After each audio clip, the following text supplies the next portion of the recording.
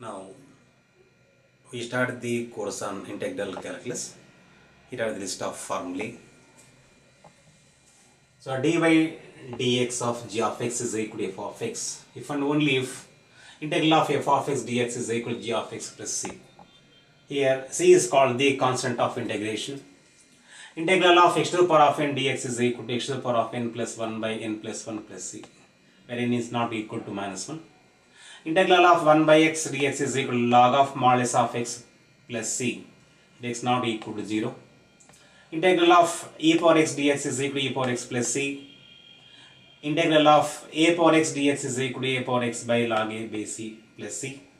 Integral of sin x dx is equal to minus cos x plus c.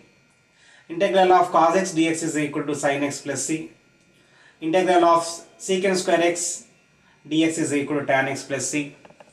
Integral of cosecant square x dx is equal to minus cot x plus c. Integral of secant x tan x dx is equal to secant x plus c. Integral of cosecant x cot x dx is equal to minus cosecant x plus c. Integral of k into f of x dx that's equal to k into integral of f of x dx where k is a constant.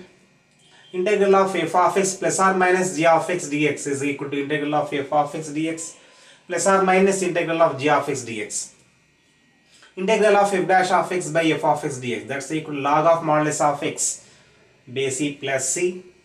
Integral of f dash of x by root f of x dx that's equal to 2 in root f of x plus c. Integral of f of x whole to the power of n f dash of x dx is equal to f of x whole to the power of n plus 1 by n plus 1 plus c where n is not equal to minus 1.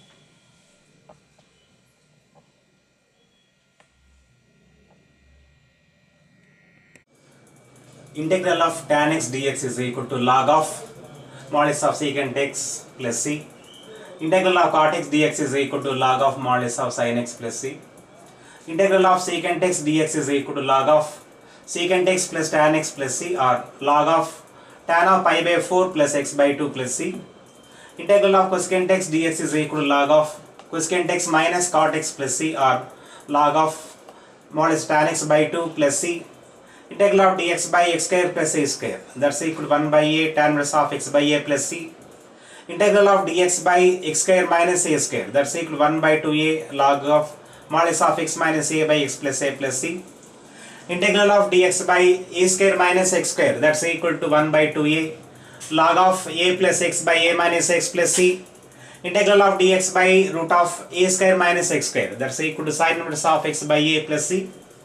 Integral of dx by root of x square plus a square that's equal to sin h inverse of x by a plus c or log of modulus of x plus root of x square plus a square plus c integral of dx by root of x square minus a square that's equal to cos h inverse of x by a plus c or log of x plus root of x square minus a square plus c integral of dx by x into root of x square minus a square. That's equal to 1 by a. Secant inverse of x by a plus c.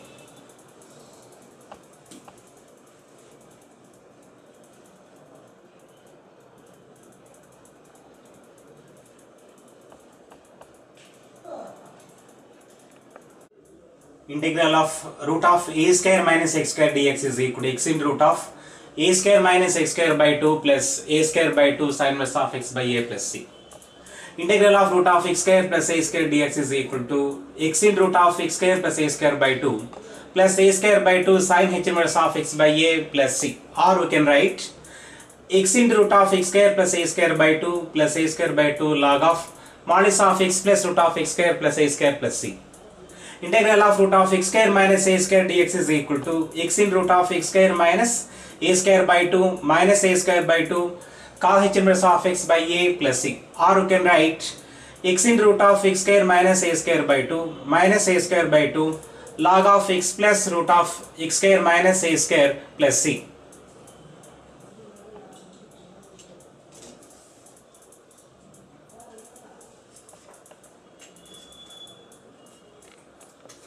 Integration by parts.